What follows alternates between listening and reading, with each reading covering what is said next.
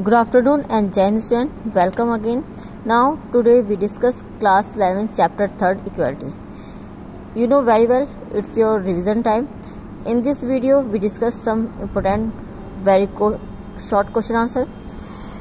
Your first question the statement that man by nature are equal is given by ये word किसने कहे हैं Locke ने next question the demand for legal equality was raised in legal equality की demand किस century में हुई थी?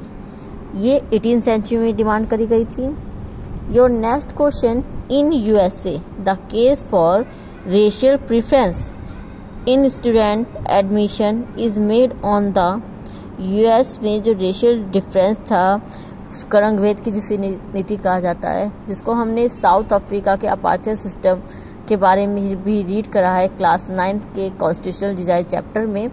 इसी टाइप की जो रेशियल डिस्क्रिमिनेशन था, वो यूएस में था, वहाँ पे क्या डाइवर्सिटी भिन्नता थी जो रेशियल डिस्क्रिमिनेशन के यहाँ पे। Now your next question Ambedkar and Gandhi both champion the cause of untouchable but they could not agree on reservation Ambedkar और गांधी दोनों ही छुआछूत के अगेंस्ट थे, दोनों ही अनटचेबिलिटी के अगेंस्ट थे, लेकिन रिजर्वेशन सिस्टम को दोनों ही लागू नहीं करा।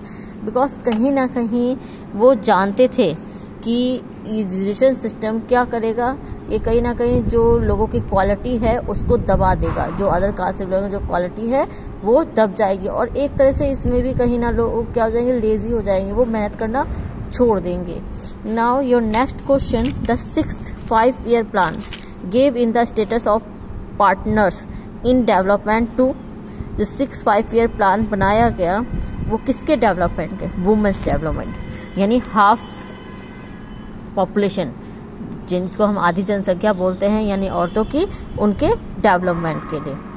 Okay now your next question agrarian reforms introduced in India aimed at complete elimination of unequal relation in agriculture जो इनक्वालिटी है एग्रीकल्चर उसमें को कंप्लीट करने की।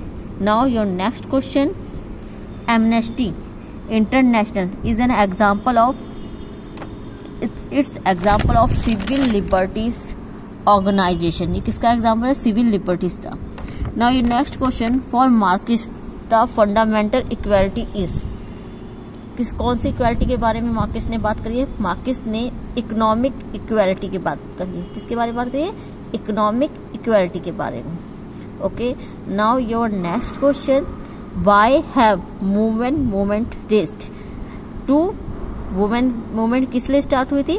टू डिमांड इक्वालिटी इसी तरह मूवमेंट डिमांड की, आप देख रहे हैं सबसे ज़्यादा हमारी कंट्री में जहाँ कास्ट और रिलीजन के साथ साथ हर फैमिली में, हर फैमिली में, हर इंस्टीट्यूशन में किसके नेम पे? जेंडर जेंडर इनक्वालिटी होते जेंडर विभिन्नता पाई जाती है। लोग ये कहते हैं, जो लेडीज़ हैं, वो फैमिलीज़ का जितने भी हमारे जो गार्जियंस होते हैं या हमारे पेरेंट्स हैं ग्रैंड पेरेंट्स हैं, या पहले के टाइम में लोगों का ये माना था, जो वुमेन्स हैं, उनका काम केवल घर का, वो हाउस होल्ड वर्क कर सकती हैं, बाहर जाके वर्क नहीं कर सकती, और उनको हर जगह पीछे करा जाता था, चाहे वो गेम्स हो, चाहे वो कोई भी वर्क हो अदर में। केवल उनको घर के वक्त तक ही सीमित रखा जाता था।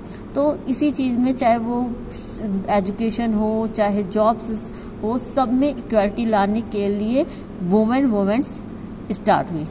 जो वुमेन मूवमेंट से इसलिए स्टार्ट हुई। और केवल वुमेन्स ने ही इसका सपोर्ट नहीं किया, कुछ जो अदर जेंडर के लिए, यानी जो मैन थे, उन्होंने भी इसका फुल सपोर्ट किया। Now your next question what were the main demands of women's movement जैसे भी मैंने आपको बताया, जो वुमेन मूवमेंट थी, उसकी मेन डिमांड क्या थी? The right to vote the right to work the right to receive degrees in colleges and university like like, जैसे British government right to vote तो अभी है बट ब्रिटिश गवर्नमेंट के time में जो वुमेन्स होती थी उनको वोटिंग का राइट नहीं दिया गया था। उस टाइम में ब्रिटिश गवर्नमेंट के टाइम पे 1930 के बाद जब इलेक्शन हुए तो उस टाइम में इलेक्शन में केवल जो रिच कम्युनिटी के लोग थे यानी जो जो भी लोग रिच होते थे या लिटरेट होते जो पढ़े लिखे और रिच पर्सन होते थे, केवल उनको वोटिंग राइट दिया गया था अदर्स को नहीं दिया गया था। यानी वुमेंस हो गई, जो पुअर पर्सन हो गए, वो थे। तो सबसे पहले तो वोटिंग का उनको राइट दिया जाए, उनको वर्क का राइट दिया जाए, कि बाहर जाके वर्क कर सके, उनको डिग्रीज कॉलेज में एजुकेशन राइट दिया जाए, कि उनको भी यूनिवर्सिटी कॉलेज में डिग्री मिल सके। Now thank you student in next video we discuss other topic thank you very much जय हिंद